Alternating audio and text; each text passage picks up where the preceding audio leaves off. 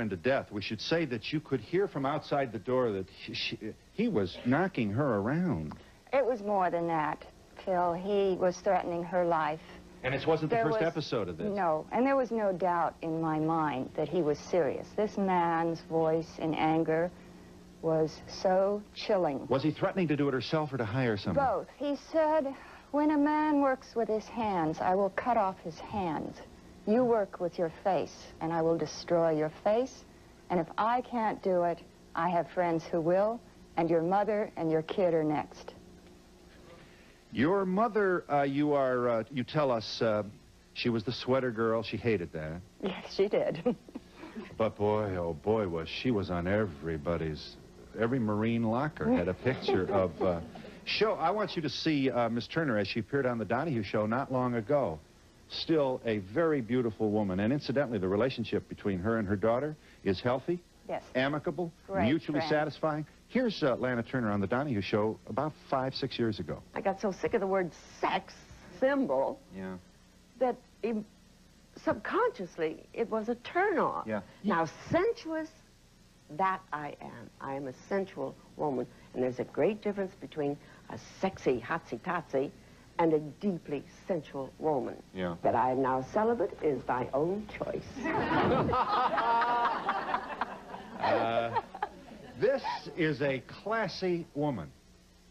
Thank who you. it clearly always wanted to be and always strove to be classy. But in the process of her stardom, an awful lot of men came into her life. My mother was a romantic.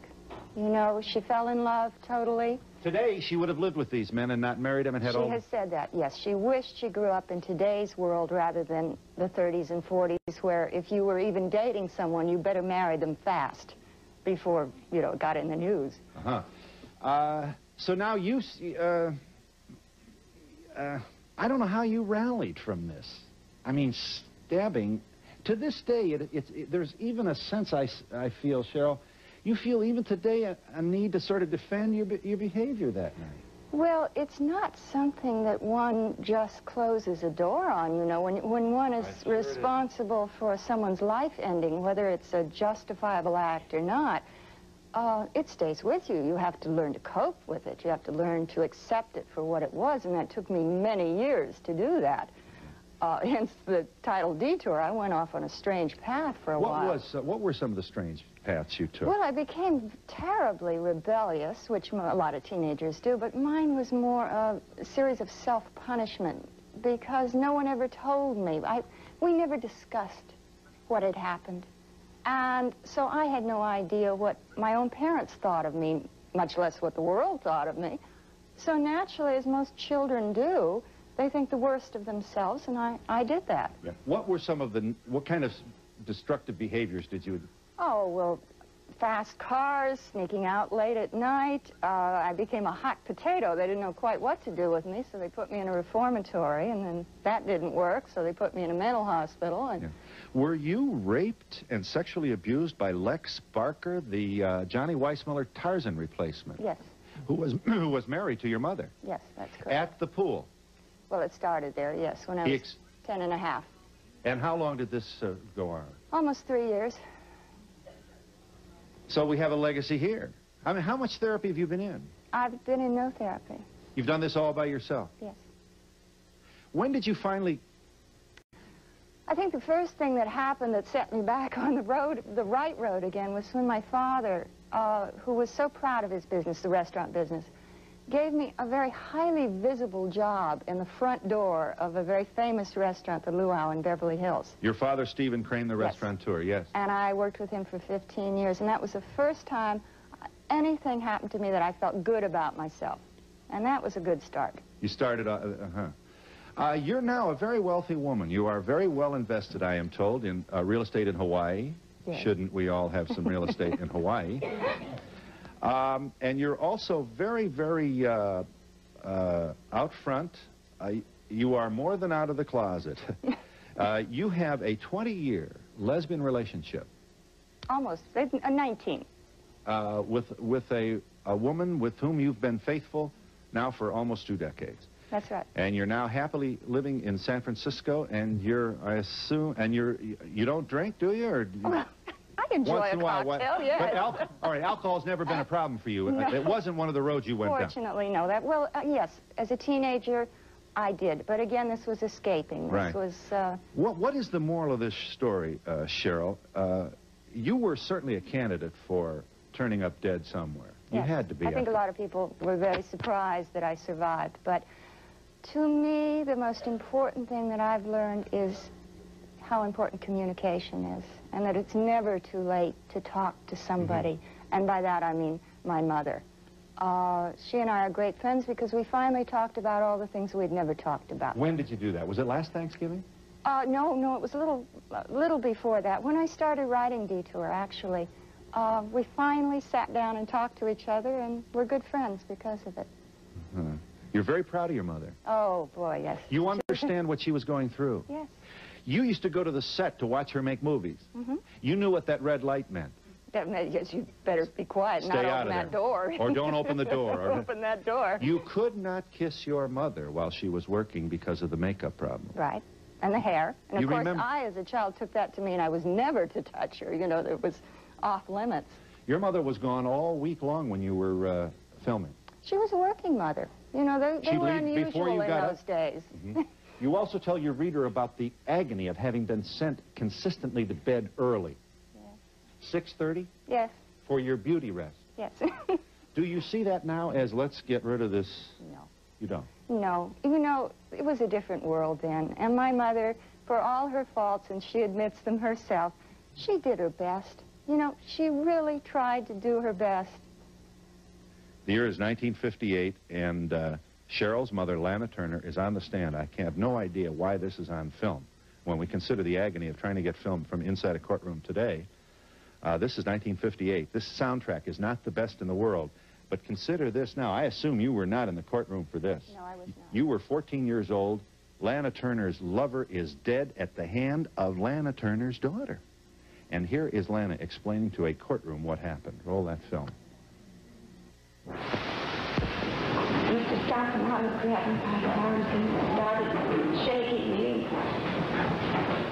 But it was so fast. I, I truthfully thought she had hit him in the stomach. But as best I can remember, they came together. And they parted. I still never saw a blade.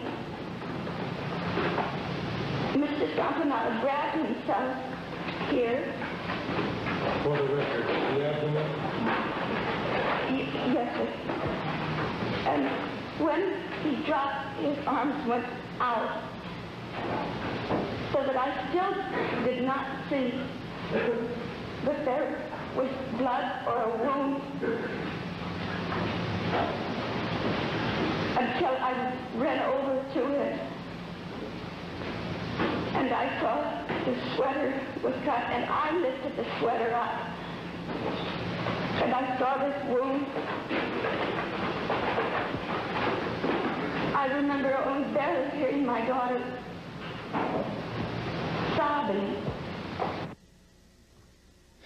And here you are, looking very well, may we say, after some kind of childhood. Your mother could have no idea about the truly complicated, emotionally troubling nature of your childhood at the time that all this was happening. Is that so? That's true. In fact, she only found out about many things in reading the book. And um, it was difficult for her. You remember the limousines and the riotous... Yes, and people trying to break through the window to touch us and having my clothes torn. Uh, they were reaching up, grabbing at me. It was very frightening. Now, this, this, uh, you have memories of this, do you not? Yes, Christina Crawford. in New York, actually. Yeah. Here. Yeah, That's yeah, in New. York. People pounding yeah. on the... Yeah. As a child, you're looking at, uh, looks like a riot outside your car. It, it did. It was outside the 21 Club, and uh, they had to get the police, and uh, the, um, the woman that took care of us got hurt and had to be taken to the hospital, and I was absolutely terrified. I had a hold of my little brother's hand. He was about four. And uh, the two of us just held on to each other, and this sea of humanity almost uh, stampeded us. It was a very, very frightening uh, experience for a child. You had a stroke after you wrote your book. Yes, I did, 1981. Do you have any doubt that this was provoked by the kind of heat you took for what you talked about? I about? think it was probably the, the end result of it, but it had been building for a long time. It was a complete blockage of the left carotid artery, and uh, so that had been damaged when I was a child, unfortunately, Yeah. yes. You told stories about being. You weren't. You weren't confined to your crib, were you? Or uh, No, I wasn't. My brother was. He was uh, tied down to it. But I was forced to watch when he was beaten, and uh, uh, so I, I ended up um, feeling responsible because I was too little. I couldn't help him. I couldn't do anything about him. do you remember having to smile for the cameras in the publicity shots? Since the time I was a baby, of course. I was part of the, the entire publicity. and you um, hated it. Well, it isn't that I hated it. No, it's that I became a managed person, and I didn't. What was real for us was fantasy, and the reality was treated as though it never existed. So, as uh, Cheryl mentioned, there was no communication, and and so my mother was an alcoholic at the time, and she would go on rampages. But the next morning, it was never discussed. So, what I knew to be reality was treated as though it didn't exist. We have you on the Donahue Show. Yes. 11 years ago. You knew this It's was. in my new book, too. I hope so. I read all Yes. the books I'm in. Um, uh, Christina, uh, you knew this Mommy Dearest was not your basic, uh, when I was a kid in Hollywood, this was rough. I mean, this was something new Americans had never seen. Well, I had lived with it all my life. Uh, so it was not anything new to me, but it was the first time we'd ever talked about Publicly. violence when, within the home. So we didn't have a context in which to Yeah. discuss it. Did you expect the heat you took for it? Nobody did. I couldn't have.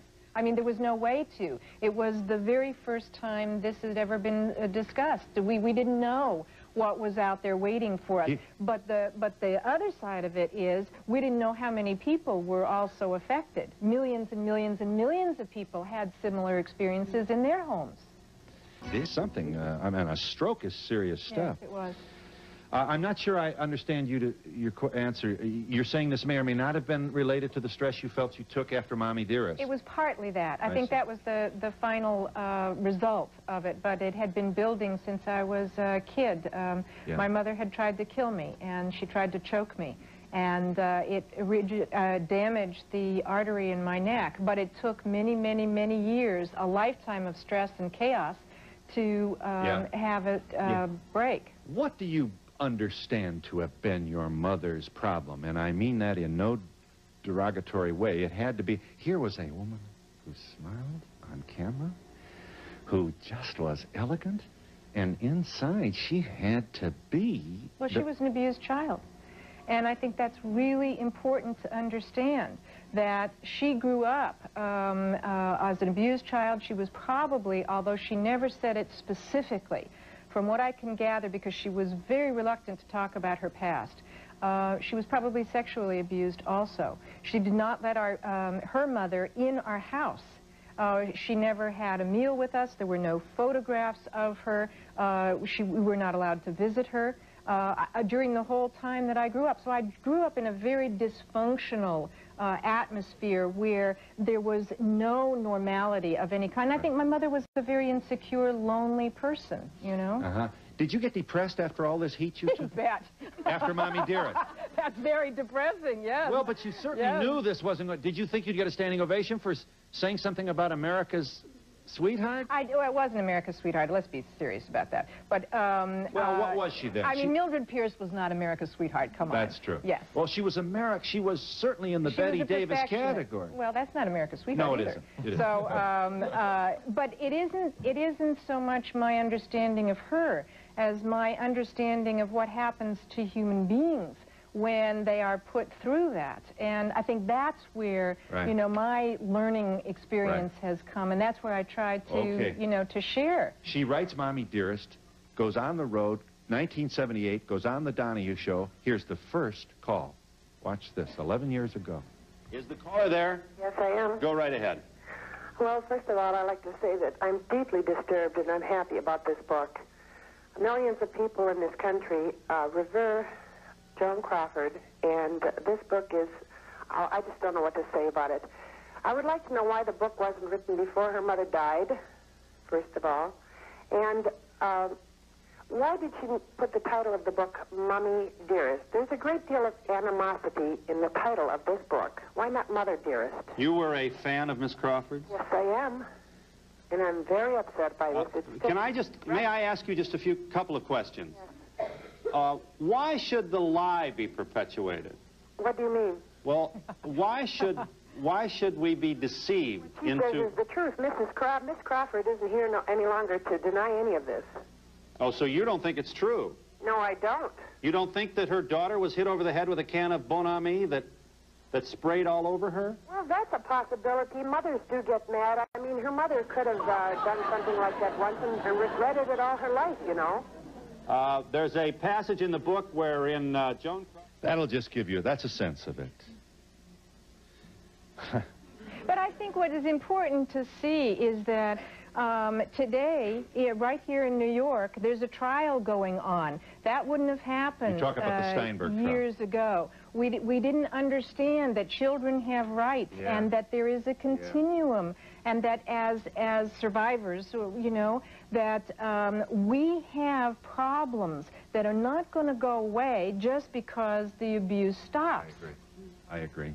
Weren't you afraid of passing down this terrible treatment to your own children? Christine? I would have been if I'd had children of my own when I was real young, and that's exactly why I didn't have children when I was in my 20s, um, because I was afraid of it, because my life was not uh, straightened out enough. Although I think the story was really sad, I think it was wonderful that you came out with it, and a lot of people are going to help, be helped because of that. Thank you very much. Yes. Yeah, hi. Um, I was wondering how you felt about the movie when it came out. I didn't write the movie, and uh, it didn't get terribly good reviews. I think it would have been fabulous if they'd stuck with Anne Bancroft, who was their original choice. I just want to know if Cheryl ever contemplated suicide when she was because of Uh, her- your yes, bad I past. did. In fact, I attempted it and was almost successful. Fortunately, I wasn't. I'm awfully glad to be here. So are we. Christina, was Yeah. writing Mommy Dearest a type of revenge on your mother? No, it wasn't. Um, it was an attempt to uh, tell the truth about what was uh, true for me. I had been in the public eye basically all my life, and most of what had been written about me was sheer fantasy. How much input did your mother, Cheryl, have into the content of your book? Uh, she helped me greatly in putting together dates and times and places, but it was my story. Is there anyone else besides you to corroborate about what your mother... To whom are you speaking? You're, you're still, yeah, you're a little upset, are you? Yeah. Is there anyone Tell else? Tell me why you're oh, there are upset. lots of Well, she's not that... here any longer to take her own part. Well, is the there mo- anyone the else most besides her? recent one, I believe, is Kirk Douglas in his uh, book that has just come out. June Allyson, um, you know, Bette Davis, Helen Hayes, uh, almost everybody that was in Hollywood at the time, yes. Your mother... They have not gi- been given equal time, maybe, but they definitely have I know my own corroborated it. I asked my mother when your book came out, because Christina and I were in school together as children, and I asked mother, I said, did you know this was going on? And she said, yes, we all knew. And I said, why didn't you do something? She said, darling, in this town we rally behind each other. We protect each other. We do not admit to, to faults. Mm-hmm. No, you know, that wasn't exclusive to Hollywood. No. No, that's the way it was all over. Nobody was talked about child and abuse. Some, to some degree, that's the way it was Yeah. when the book was originally published, Uh, 10 years you, ago. Did you grow up with Liza and um, didn't one of you wanted to have Judy Garland? Oh, that was me. Yes, Yeah, you- Liza and I were next door neighbors, and we traded mothers uh, because we were at that age where the grass was greener on the across the fence, you know. And we did trade mothers. It helped that Mother and Judy were best friends, so they went along with it. Lana Turner and Judy Garland were best friends. Yes, yes. Now, when you say you traded at childhood little game, is how? I don't understand traded. Well, we decided that we each wanted the other Mother. mother to be our mother. So we decided between us we're going to trade mothers, and we informed our mothers we had traded. I see. And Judy was now my mother, and Uh-huh. my mother, Lana, was now Yeah. Liza's mother. Liza loved your mother, Lana, Well, and you you loved Judy. Well, of course, they were total opposites. My mother was a very glamorous woman, still is. Judy was a very comfortable, get down on the floor, um, bare feet, bare feet Yeah. uh, ponytail. You know, so they were total opposites. Yeah. How you're you're recovering? What incidentally? Was there, was there any paralysis from your stroke? Yes, I was um, paralyzed on the right side. I couldn't speak. I couldn't walk. I had to learn to do everything. I couldn't read. It took about four years in a rehab hospital and then with uh, a series of physical therapy and, and um, uh, gym and that kind of thing. So it was a long time coming back. And uh, um, I think that it, it, helped that I was an actress for 14 years because what I did was I, I treated it as though uh, it were speech therapy yeah. and, and that kind of thing. And I used my imagination to be able to visualize myself whole and well and, and healthy before I actually could, uh, could be that way. Survivor is the title of Christina Crawford's book. This is the story of her follow-up to the whole storm that was created by Mommy Dearest. And I'm pleased to tell you, I'm in the book. um, obviously, I have less enthusiasm for this book, which is, in which I do not appear. Uh, no, I am pleased to say that this is in paperback. This isn't funny. This is a very, in my opinion, honest uh, recounting of a tornadic childhood with a mother who loves her. And isn't this a good ending to this story? Lana Turner and her beloved daughter Cheryl are best of friends. California, the zip is 91356. Here's a very honest effort to uh, involve other people who've had similar circumstances. Maybe not uh, with uh, parents who are famous, but the pain is just as real. Incidentally, show them, show them Joan. I just want to go down memory lane here. Here's a 1941. A Woman's Face is the title. Look at this screen presence here. Joan Crawford as one of uh, Hollywood's most powerful and uh, sought-after women. And at home was uh, little daughter Christina, living quite another life, indeed. We should also make this point that since Mommy Dearest, not a few celebrities' kids have come out of the woodwork. To name one, Gary Crosby. Mm -hmm. He called me many times, yeah. But you know, Phil, one made point... it easier for all of us to take a look, an honest look at our own lives. I well, really I do. think the other part of it is that uh, the the book that I that I wrote, Mommy Dearest, um, and to some extent Survivor, because they're part of a continuum uh, has to do with how people get through the circumstances yeah. that are uh, given yeah. to them at life. And I think everybody has problems. Everybody has something that, that hurts them. Yeah. Everybody has something that they need to, to overcome, to survive. But Christina had to write thank you notes for gifts, and then after she wrote the thank you notes, her mother gave the gifts to charity. Would you would you well, I did not have I did not have the privilege uh, that a lot of people fantasize because uh, that was not part. I saw the privilege, but I didn't participate in it. It was it was made quite clear that it wasn't mine, but I did see it. That's Almost that's true. Time, Cheryl, I'd like to ask you a question. How did your mother feel when you came out of the closet? Well, the knife. oh, oh, out of the oh. Oh, Bill. I'm sorry. That wasn't, I wasn't going for a laugh. You did not come out of the closet on that horrible night in which Johnny Stompanato was killed. You came into the room. Yes, I She I wants to know about your lesbian uh, relationship. Right. I, I first told my mother when I was about 13 years old, and I said, oh, mother, I'm in love. And he said, she said to me, how cute, what's his name? I said, it's not a he, it's a she. And instead of her going, oh, my God, you know, which a lot of parents would do, she said, oh, darling, don't worry about that. She'll outgrow it and I didn't. So in my family, I guess with all the other traumas going on, it was a very minor detail. Christine, did you always understand why your mother did the things she did? No. I didn't uh, always understand, but that has been part of the, the growing up process that I've had to go through. Yeah. How were you treated by schoolmates and friends as you were growing up? Me? I, I, was treated quite well because we formed almost like a fraternity, uh, commiserating with one another because we were the only people that we had to talk to that understood. Yeah. Mommy Dearest came out, how did your brother react to the book? My brother and I have always been very close, and he was extremely supportive. Yes, ma'am. Christina, have you forgiven your mother? I've forgiven myself for whatever mistakes I made as a child and have some compassion for both of us now. Of her own uh, life growing up with uh, the most beautiful woman in Hollywood, the most sought after, the sexiest, and all those other things that Miss Turner herself uh, rather distanced herself from when she was on our own program. Survival is uh, Christina Crawford's life since uh, Mommy Dearest. A very uh, compelling tale of her own struggle with a life-threatening illness from which she has now distanced herself, we're pleased to say. Whose hand did I say here? Yes.